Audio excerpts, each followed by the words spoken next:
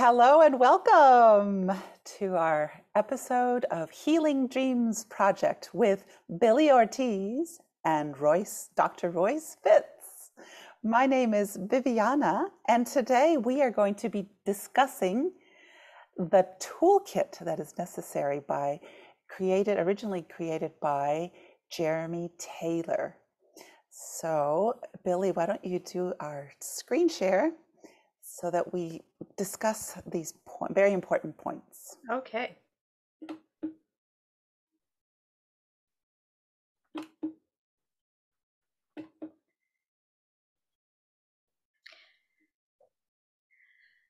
So this is called the DreamWork Toolkit. There are the six basic hints for DreamWork, and uh, we, Royce and I, we've we trained and worked with Jeremy for many years, and we find this is the best way to work with dreams uh, because it gives us a chance to enter the dream as though we were the dreamer. And all of our comments are in the first person as much as possible. So, Viviana, you want to read the first one? The first one says All dreams speak a universal language of metaphor and symbol and come in the service of health and wholeness. There's no such thing as a bad dream, only dreams that sometimes take a dramatically negative form in order to grab our attention. Royce, did you want to say anything about that particular one? So I'm a, I marvel every time I read this, the whole dream work toolkit, because it's such an unsophisticated title and it's such a sophisticated presentation of dreams. And so this piece, this uh, first one, this universal language uh, has always captivated me and reinforces this belief that every dream from every person, from every culture, from every background, uh, every dream comes in the service of health and wholeness. And this blessing that Jeremy gave with his brilliant insight for us that there is no such thing as a bad dream is something that has to be kind of like drilled into us because when we're dreaming, part of the limbic system doesn't know we're dreaming and it reacts with that this dream is a waking life event. So we will emotionally feel all the waking life feelings. And waking life feelings and bad stuff always hooks us. And this is a beautiful reminder that we can't stop the limbic system from doing this, but we can use our thinking and reminding ourselves that this is not a bad dream. It is a dramatically negative form and it helps me it grabs my attention. Yeah, very good. Mm-hmm. The second basic hint for dream work reads Only the dreamer can say with any certainty what meanings his or her dream may have. This certainly usually comes, or this certainty usually comes in the form of a wordless aha of recognition. This aha is a function of memory and is the only reliable touchstone of dream work. Hmm. Wow. Yep. That's that's the that's I always say that's where the rubber hits the road. You know, it's like we can say whatever we want about someone's dream, but the dreamer gets the final word. And if the dreamer can take it or leave it, um, and and we it, when we say it's a function of memory there's something in me that on the unconscious level knows that this is this is what the dream is trying to tell me and when i hear someone say it aloud then it's like, as though electrical shock goes up my back or i get the hair on the back of my neck stands up or whatever mm-hmm, because it's mm-hmm. like oh right that's it so that's that's a really important piece that that the dreamer is is the only one who can say what their dream means. They're they they have their final word. Mm-hmm.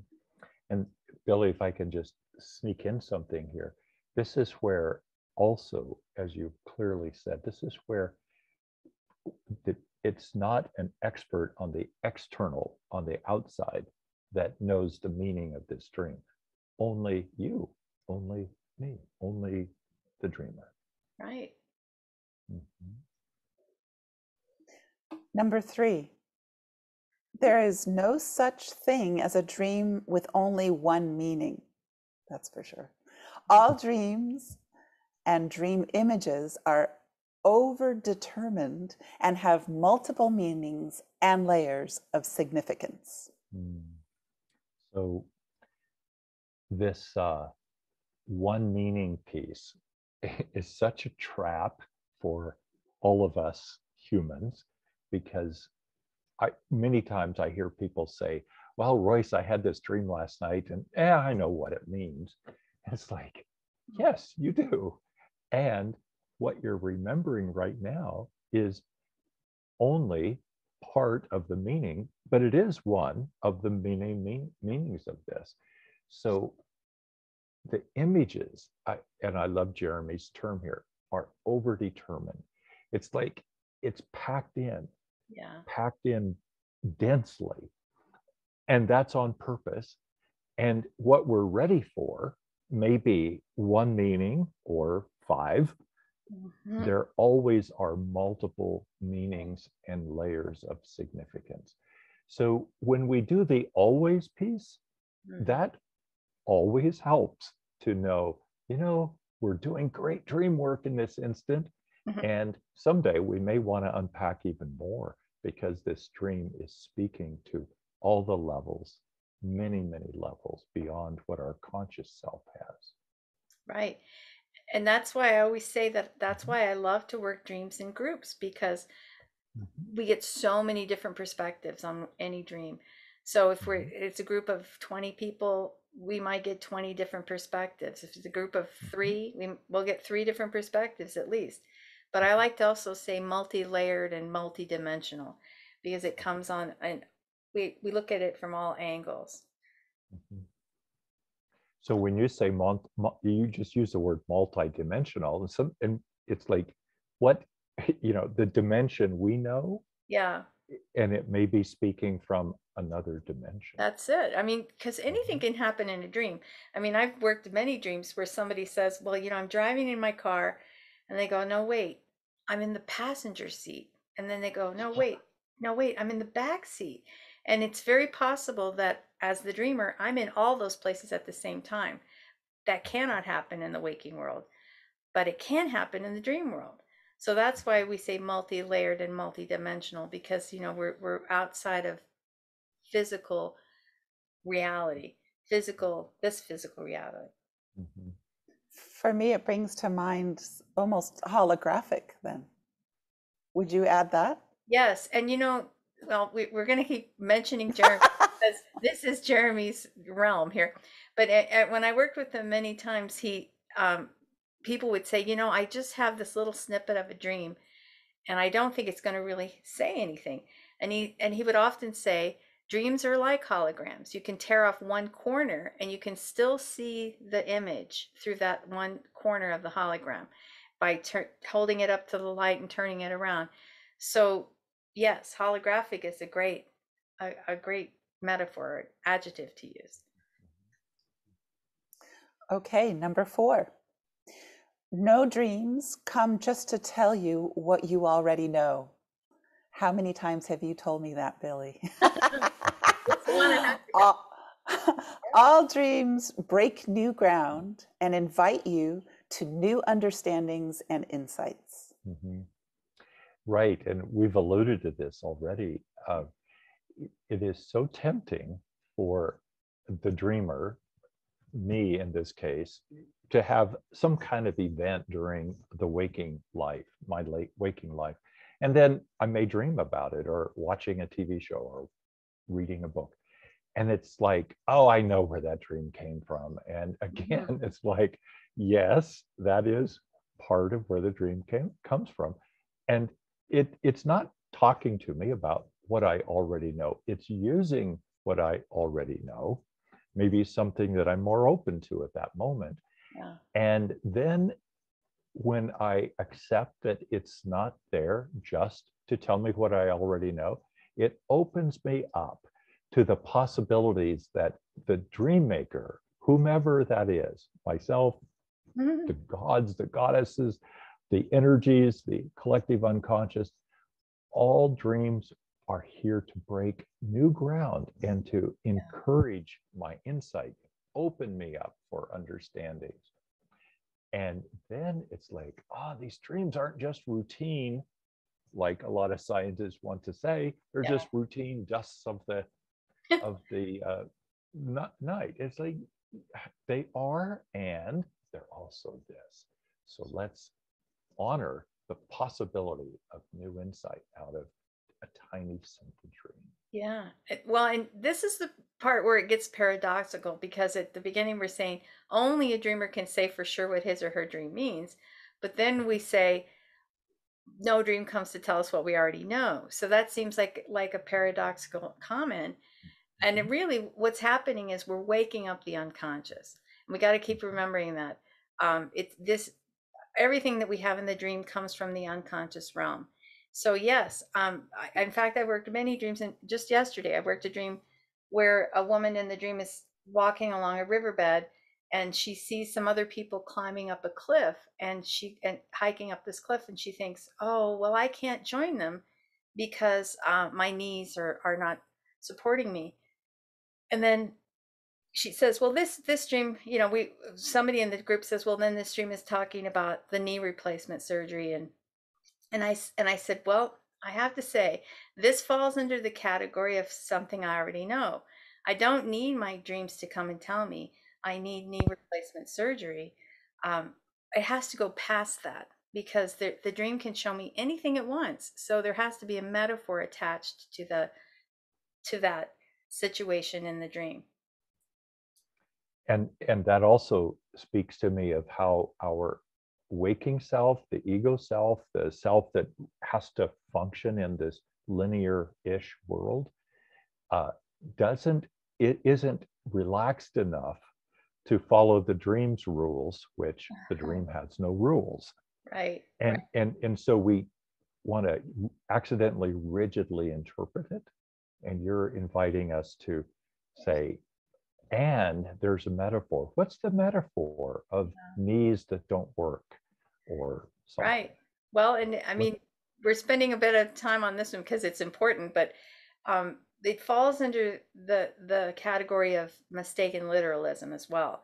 Because if I have a dream, like I, Billie, often have dreams about working on dreams and organizing workshops and uh, ever since we started the idea of this pod, pod, blog podcast, I have uh, had many dreams around the podcast.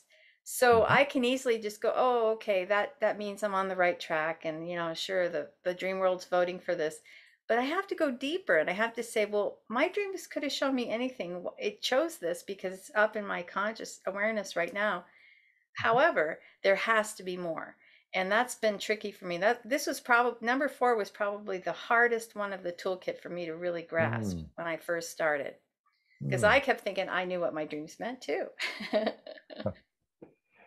and and it's hard to give that up uh, just as a human and especially perhaps in our culture uh, we're kind of trained to bite down on literalness. Hmm That's it.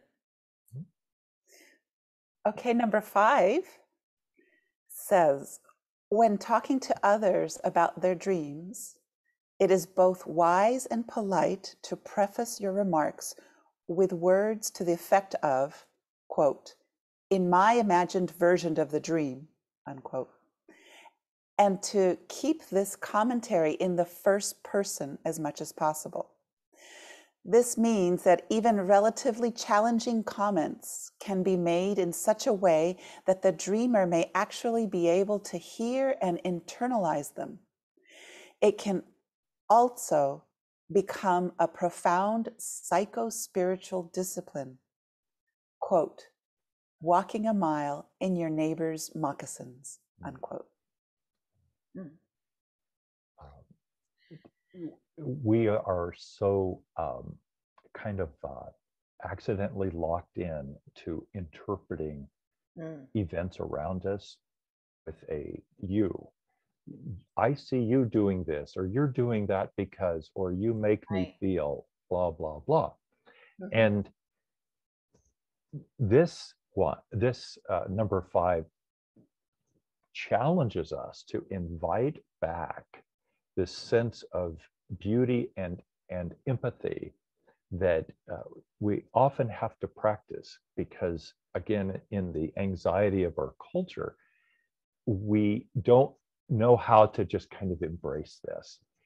And and this rule helps us to discipline ourselves to use the term if this were my dream in my imagined version of the dream.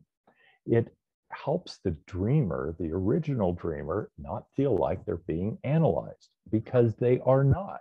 Yeah. and it also makes us a, a community invites us to be one with each other even as we are not comfortable doing that.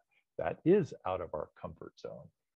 And to borrow the dream and to speak from the i speak Yeah. from in my imagined version helps us to own this energy, this possibility, th- these truths inside of us. And then the dreamer, the original dreamer, can kind of like relax and say, you know what, I hear that person saying, it does give me goosebumps, Mhm. or it, it doesn't.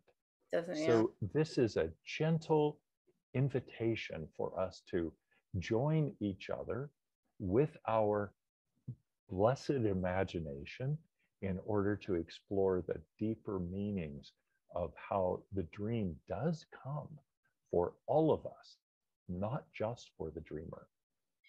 Yeah, and you know, this is where it works both ways, as we say so often, because mm-hmm. as I'm making the comment on someone's dream, in my imagined version, this Mhm. dream might have something to do with my relationship with my mother. it's a classic one I always use. Um, but if I say, I think your dream means that you have a problem with your mother, that immediately becomes accusatory, and the dreamer will shut down and not want to hear that. But if I put it in the eye, then the dreamer can take it or leave it, but I also can hear myself saying it. So I realize it's true for me too. And this is where we get into the realm of compassion. Because if I'm able to imagine someone else's dream and truly imagine what their life circumstances might be, then that then that means that I can have compassion for them. If I'm not able to to imagine their lives, imagine being them, I cannot have compassion for them. Mhm. So that's really critical. Very, very well said. I, I, one of the great truths I've learned in my years of working with dreams from a projective standpoint is to, in my profession as a psychotherapist, marriage and family therapist, there's always this kind of setup, uh, and it's not always bad, and it is a setup where someone comes to me and they're asking me to help them deal with their life issues and and so the you word tends to get used. And and in a sense it's like sometimes that violates uh, clinical psychotherapy accidentally violates a person's dream if they say well this is what's going on when you are dreaming such and such. And it's like okay it's not that that isn't true. However it is interpreting the person's soul rather than Mm. letting the person set with their insight they may not be ready for that insight. And if i say well this is what you're thinking or this is what you're doing in your dream that pushes them. And it again violates that sacredness of a person exploring on their own. Now if i borrowed it and said you know this is what this reminds me of if this mm-hmm. were my dream in my imagination. It's like oh well royce that that's really off the wall uh-huh. or that's really on target. And however, it builds this beautiful bridge of humanity. Yeah, it's a, it builds a container, a safe container, because Mhm. it's I've seen a lot of dream work done not in the projective form, and I've witnessed a lot of people's feelings get very hurt, and I've watched people run out of the room because it became so Mm. direct and everyone projected so strongly onto the dreamer. And that doesn't help anybody. It doesn't help the dreamer. It doesn't help anybody else in the workshop or the setting or the group, whatever. And and it's it- it's you know I like to immerse completely into it to where even when I'm asking the questions, and I Mm. encourage a lot of people that I work with um, to keep the questions in the eye too, like what color, you know, I- what color is my dress? Uh, what what uh, model car am I driving? Um, what what does my house look like? You know, that kind of thing. Because then I'm I'm still because if I go into the you, well, what what are you? What what does your dress look like? Immediately, that again becomes um, outside of me. But if I'm imagining myself truly in the dream, then I have to see myself as that dreamer and and see myself in that in that clothing and in that car, wherever. So that's one other piece to it as well. Mhm, mhm. And the sixth and final toolkit is all mm-hmm. dream group participants should agree at the onset to remain to maintain anonymity. Oops, mm-hmm. anonymity in all discussions of dream work. In the absence of any specific request for confidentiality, Group members should be free to discuss their experiences openly outside the group, provided no other dreamer is identifiable in their stories. However, whenever any group member requests confidentiality, all members should agree to be bound automatically by such a request. Mm, yeah.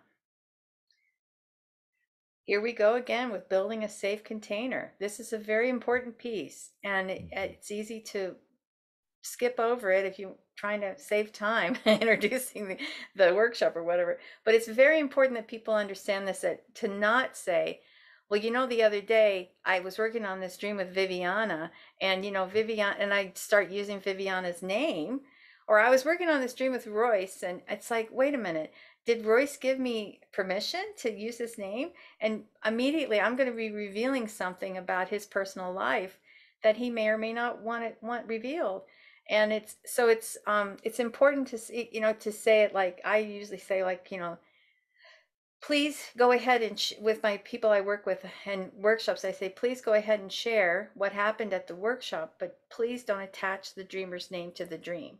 So in other words that frees people up to be able to discuss it so that other others can f- hear about it. Uh, but yes the last bit's very very important. Um, sometimes people um, discuss things about their family life or things about their work life that they really don't want repeated. So they'll preface it with that. This is a this stream I'm sharing it, but but um, I I'm I'm requesting strict re- confidentiality. And uh, uh, what you're reminding me of, Billie, in this is uh, the dream knows where the dream wants to go, but the dreamer may not know where the dream wants to go. And, and so when I'm sharing a dream, uh, and it's a profound dream, and there's multiple level, levels of meaning, and I've and I've had this happen numerous times where it's like one of the ahas is, oh my God, what oh, I didn't know the dream was going to talk about this. And I'm my ego self, my waking self, my you know normal uh, self-protective self isn't ready consciously to talk about that. right. Or if it is, I need to have this safe container. I didn't know the dream was going there. Mm, And so when we in advance bless everyone with uh, this safety and say, you know, we don't know where the dream's going, and the dream wants to be here, is here for our health and wholeness and insight and wisdom and healing. mm, We need to agree up front. We're going to protect the dreamer Yeah. with our compassion and our empathy. And again, the dream is my dream that comes from someone else so that we have this beautiful, beautiful human connection of being supportive and loving, even beyond what we may consciously realize. Right. Very nice. Okay, I'm going to stop the share now. And if anybody wants to learn more about that, they can go to jeremytaylor.com. It's up and it's on my website as well, wakeuptoyourdreams.com. And it is on my website uh, as well. Uh, and uh, so, Royce and Viviana, thank you. Fitts.com, right? That's that's the Roy, new, Roy, RoyceFitts.com. Yes. Viviana, thank you for reading through those. And uh, uh, it it helps to have another person uh, Mm, read through it. I feel it, hear it, experience the words in a in a deeper, richer way. I was first introduced to those when I took Billie's workshop mm. and she read through them all and I was new to your whole circle here. And I, I found it interesting and it, you know, it came in. But then every month when I go through the dreams uh, groups, I attend the dream groups and I do my private sessions with Billie. I hear it, I hear it, I hear it every repeated over and over. So it was fabulous to really look at it again because now I really got it. I think it like dreams, it just takes takes a while and you can it's always searching, you're always finding deeper meaning and it's just brilliant. It's beautiful. It is. I'm And it's so it's so simple. yeah. and I, I love that one of the primary uh, passions Jeremy has, and that I believe we have, is to level this ground of dreamers. Mm. It's not just about experts analyzing and scientific studies. It is that. And more importantly, in my projection, it's about common, ordinary folks who are changing the world through dreams. And and and so that simple six Mm. step used to be 10. Jeremy Oh. condensed it. used to be a Yeah. lot more than that. If you his Yeah. original book in in the 80s, Dreamwork, went on for like two pages. It was like 20, 25. I just Yeah. looked at that not too long ago and I thought, "Oh Yeah. my goodness. I'm so glad that he that he, I'm Mhm. turning through the pages and I'm like, I'm so glad he's he condensed it down." And I I many times I heard him talking about how that took him so long to get to that part where it was just this is really what I'm trying to say. Instead of Mhm. saying all this other stuff attached to it, I'm just trying to say this. And that's why at the bottom, if you notice, it says copyright Jeremy Taylor. However, uh, distribution is is uh, on on a on a what? How does he put it? It's like uh, I forget, but it's permission is permission is given. Is that what you're saying? no, to but it's even funnier than To that. be distributed widely. To be Oh, yeah. distributed widely. That's what it says at the bottom. Something like, you know, as long as you keep as long as you keep that Jeremy Taylor at the bottom, just make as many copies as you want and send it out. That was his goal, was to to spread it to the world. It's a perfect manifesto. Yeah. I love it.